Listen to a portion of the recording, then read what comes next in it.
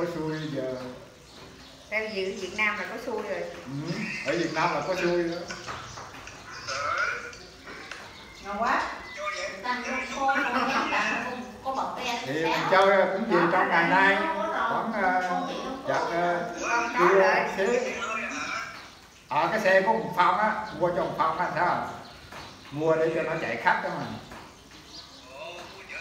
À, mua để nó chạy ráp á chạy nó kiếm tiền. Mấy ngày tết này nó tặng xe nó chạy biết rồi